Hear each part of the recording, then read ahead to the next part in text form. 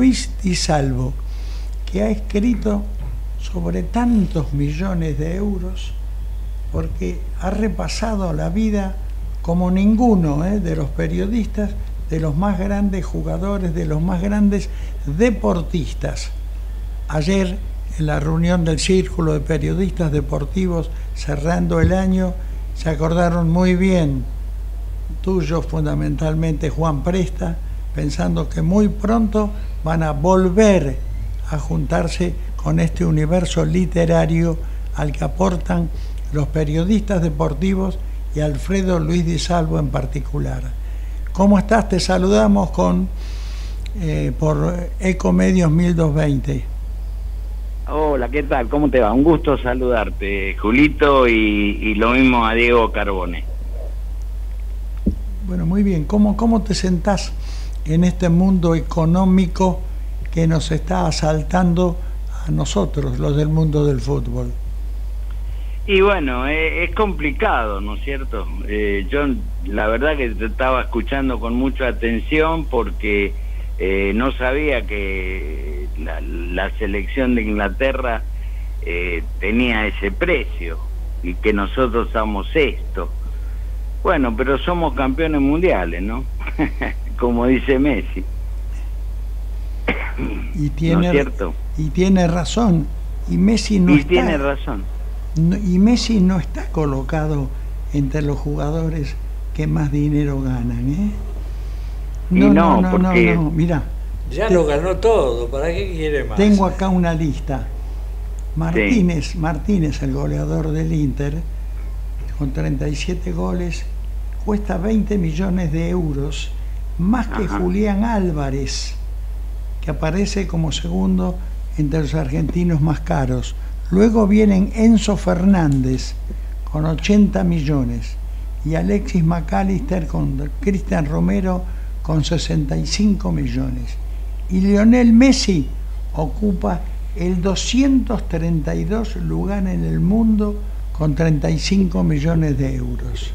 ¿Cómo se ha repartido por todo el mundo esto? Y bueno, pero Messi ya está por colgar los botines dentro de poco, así que no puede no, mucho. Yo creo que va a jugar el próximo mundial, ¿no? Y después se dedica a los hijos y a la mujer.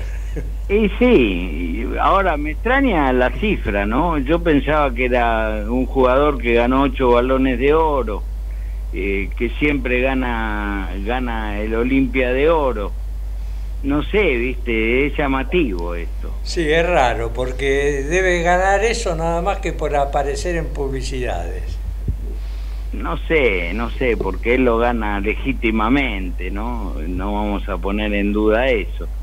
Eh, a mí me parece que, no sé, que, que, Messi lo que más hace, que nadie, ningún jugador lo hace, eh, eh, es la, la, la acción social que él hace. O sea, Messi con su fundación eh, no sé, hizo 19.600 eh, colegios en todo el mundo. Sí. Eh, y bueno, trabajo bárbaro. Qué, qué bueno, mi querido Di Salvo, que recuerdes, que repitas y en voz alta la cantidad de escuelas en los lugares carenciados, naturalmente, en los que ha participado el buen sentido de Messi. Sí, no, no, Messi es una cosa seria y, además eh, le molesta que lo difundan, pero realmente ahora lo, el trabajo que está haciendo con los israelíes eh, eh, respecto a la ceguera, que dice que va a solucionar el problema de ceguera en el mundo, y yo creo que le van a dar el premio Nobel de la Paz a Messi. ¿Qué querés que te diga? Porque ocuparse de, las cosas que él se ocupa, porque él también prioriza la educación sobre todos los valores eh, humanos, ¿no? Eh, que también es, es algo que, que yo comparto con, con, con, Lionel Messi, ¿no? Y es algo que eh, tendríamos que representar con una bandera más grande a propósito de la selección argentina de fútbol. Argentina está ubicada en el primer lugar del mundo a propósito de su selección. Una selección que al margen de lograr los resultados que le acreditan el título del mejor equipo del mundo, reparte sonrisas como lo más común, buen sentido, colaboración, sentido solidario. Es un verdadero mensaje y de esto deberíamos estar orgullosos, que el fútbol le está repartiendo a un mundo que está viviendo el caos de una guerra permanente, ¿no? Sí, es cierto, es cierto. Eh, y sin embargo, bueno, eh, Messi sigue teniendo la humildad de siempre, ¿no? Eh, y eso también es rescatable. No perdió el pibe de barrio. No, no perdió para nada. Vos imaginate que va a ser un, amistoso con News. Sí. en, el, en el Inter de Miami y ya estaban agotadas las entradas. Eh, hizo una licitación de las seis eh, eh, camisetas que, que él utilizó en el Mundial y se vendieron en tres millones de dólares. O sea, qué sé yo, tiene, tiene esas cosas, ¿no? Y tiene, esas cosas que... Y la tiene esas cosas. En este momento en que el fútbol está generando una realidad económica que no había tenido sentido nunca. Fue, fue, creciendo, siempre fue importante, fue creciendo, pero llega a esta altura, ¿eh?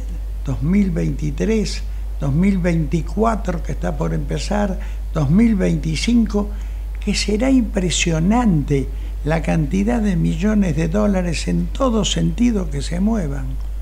Y sí, vos fijate, Julio, que eh, popularizó de tal manera el fútbol en, en, Miami, eh, que es el primer deporte eh, que los aficionados más convoca, el fútbol. Exacto. Logró, logró Messi, todavía no en todo Estados Unidos, sino en la parte sur de los Estados Unidos, lo que no logró Pelé, porque también lo intentaron hace muchos años, esto de inventar el fútbol, porque casi no existe en Estados Unidos, a través de Pelé, y no pudieron. Pero ahora sí.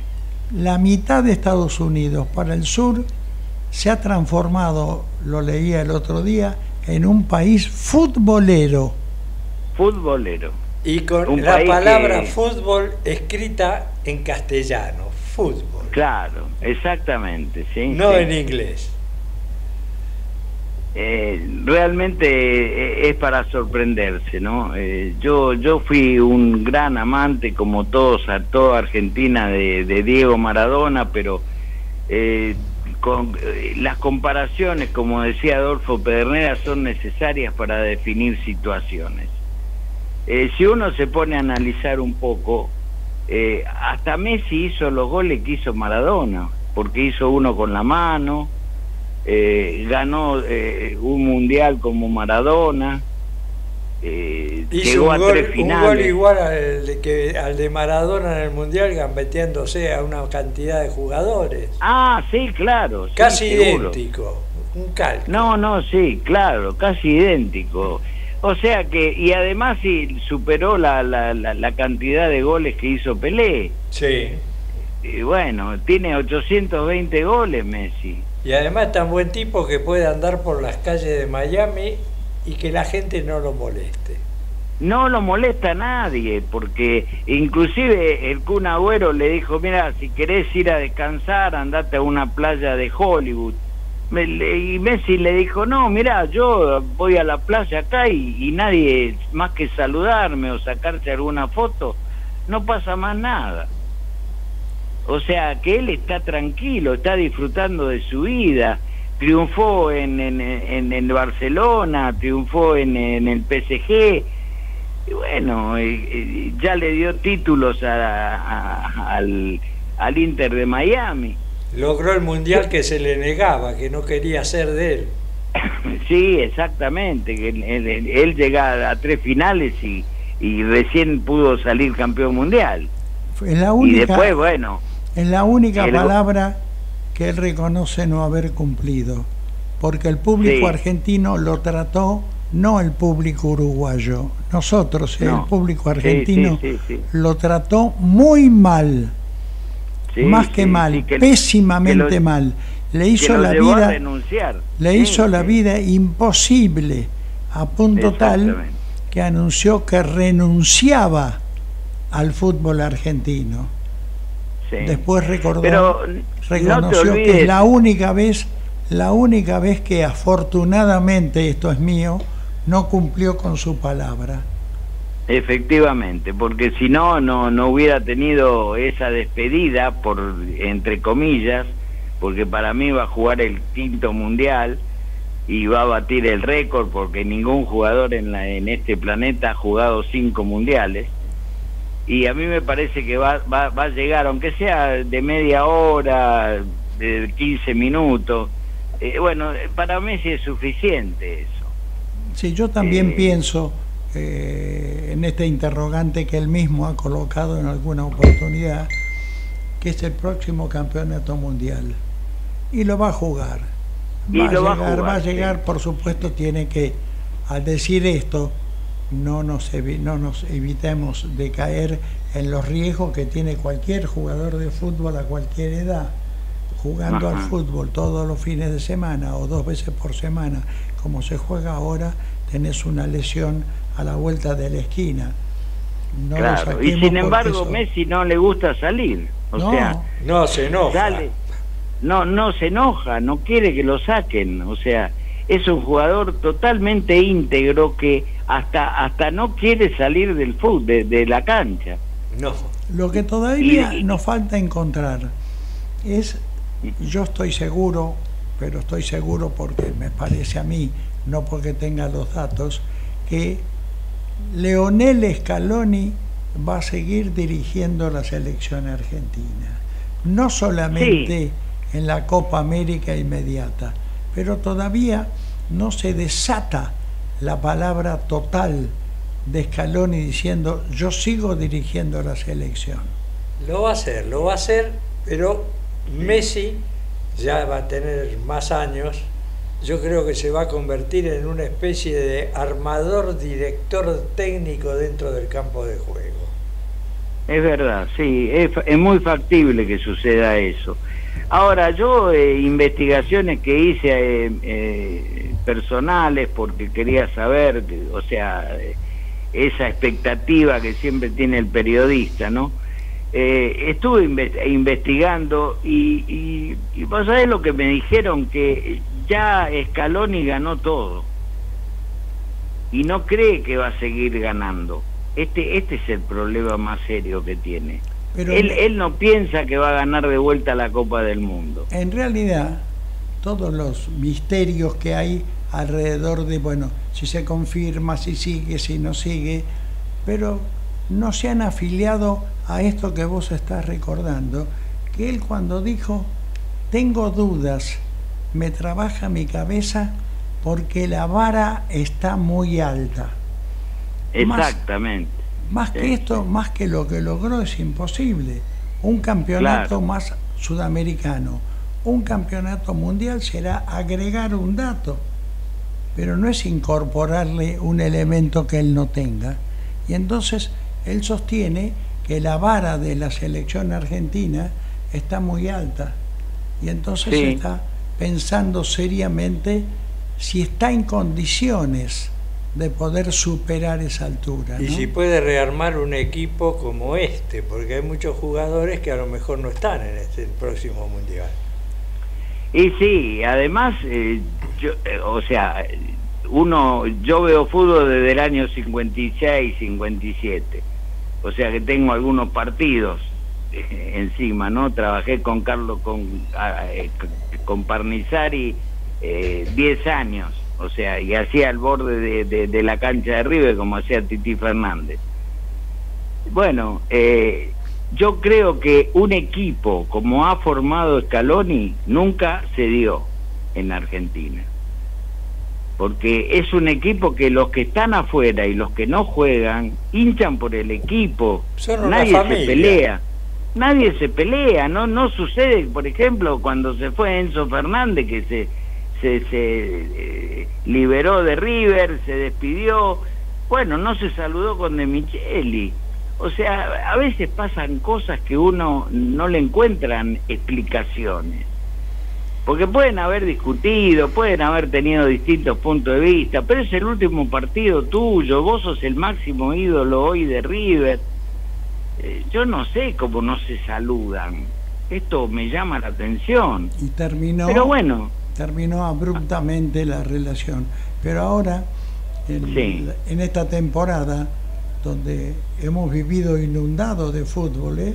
porque era encender el televisor, los que todavía pertenecemos a esa, esa época, y cuando no tenés la liga inglesa, la liga italiana, la liga francesa, la liga belga, están jugando los brasileros, algún, algunos de los tantos campeonatos que se juegan en la Argentina, pero ahora Sí. muchos medios están aprovechando este parate que hay para recordar.